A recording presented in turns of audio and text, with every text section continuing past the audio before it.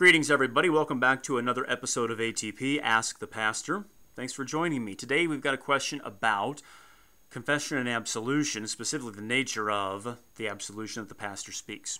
Dear Pastor Sullivan, sometimes Christians from other denominations ask how holy absolution could be valid for the judgment day if it's possible to lose salvation by falling away from faith. Also, how can a pastor speak the absolution if he can't look into the heart of a person? How would you respond to such questions? Well, let's take the second question first, because I think if we understand the nature of the absolution, I think the first question then becomes clear. I think everything falls into place then. So, first, um, how can a pastor speak the absolution to a sinner if the pastor can't look into the heart of that person? And you know, you bring up a good point here. Pastors, it's very true, can't read your heart. In fact, this is something that no human being can do to another human being. We cannot look into another person's heart and read their motivations, uh, no matter how much we want to try sometimes. There's only one that can do that. There's only one heart reader, and that's ultimately God Himself. In fact, St. John tells us this of Christ in John 2, verse 25. Christ, who is God in human flesh, knows what's in a man's heart. Now, the important part, I think, with this is that pastors aren't commanded to be heart readers. We're not commanded uh, to look into the heart of those who are penitent. Rather, the command of Christ is the entire basis for giving the absolution, for speaking the absolution to sinners. It doesn't have a thing to do with heart reading, it has everything to do with the command of Christ. So, for instance, Christ promises this in Matthew chapter 16, verse 18, to the apostles. He says, I will give you the keys of the kingdom of heaven, and whatever you bind on earth will be bound in heaven, and whatever you loose on earth will be loosed in heaven. So Christ promises them the authority to loose, that is, to forgive sins, but also he promises them the authority to bind sins or retain sins so that those sins are not forgiven. Now, he fulfills that promise then on the evening of his resurrection, uh, on the evening of the Easter day, then um, in John chapter 20. So in John chapter 20, verses 22 and 23, it's written that Jesus breathed on his disciples and said, Receive the Holy Spirit. If you forgive the sins of any, they are forgiven them. If you retain the sins of any, they are retained. Now, this is a remarkable command and promise that goes with it. God promises all throughout the scriptures to forgive our sins whenever we repent of them. But not only does he promise us to forgive us, but he promises then to send his representatives into the world to speak that word of forgiveness directly to us. So now notice in both Matthew 16 and in John chapter 20, there's no command anywhere to read hearts. There's simply the command to forgive sins to those who are penitent and believing. They're simply given the task of forgiving sins uh, and retaining sins. What makes the absolution, therefore, valid isn't any sort of heart reading, it's simply the command of Christ, the promise of Christ. Now, since Christ commands his servants to forgive the sins of the penitent and believing, that means that both repentance and faith are necessary when one comes to confession. So, this is important to remember. Pastors don't forgive the sins of just anybody, uh, they forgive those who sorrow over their sins, who acknowledge their sins, and who desire to be rid of their sins. So, the pastor, as I said above, can't know what's in a person's heart. The pastor can only hear the words that are coming out of a person's lips. Uh, so if a person comes to me and asks me to hear their confession so that I can pronounce Christ's forgiveness on them, then I gladly hear them and I absolve them, uh, just as Christ has commanded.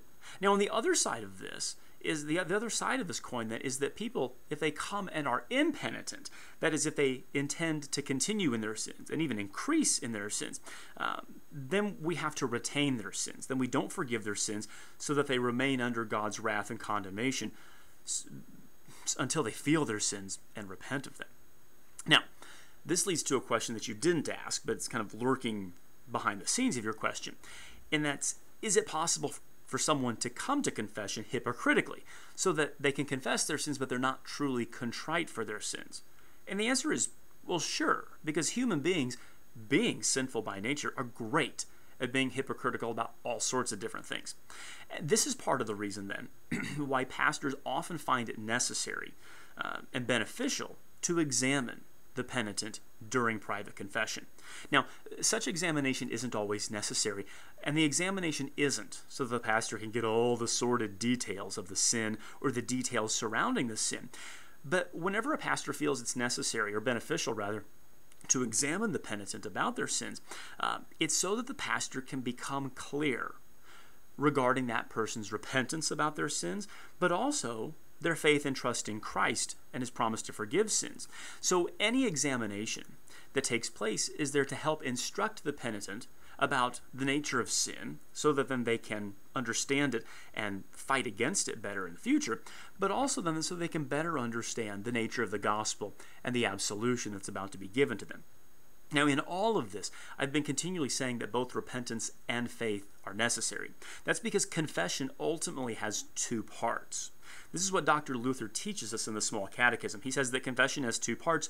The one is that we confess our sins, the other that we receive absolution or forgiveness from the pastor as from God Himself, and in no wise doubt, but firmly believe that our sins are thereby forgiven before God in heaven.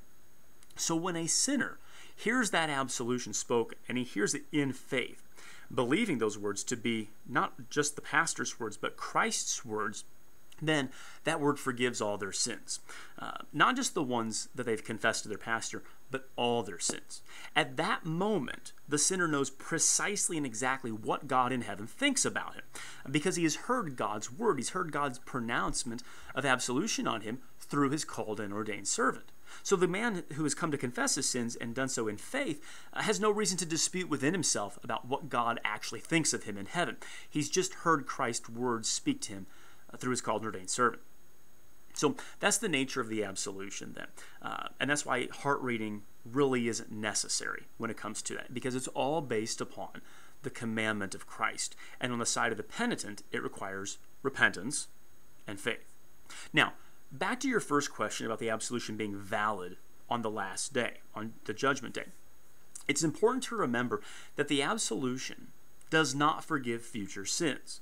So, if Unfortunately, this happens if a Christian abandons the faith, uh, either through outright apostasy or through the neglect of the word and preaching, then he turns his back on repentance and faith in Christ for the forgiveness of all of his sins.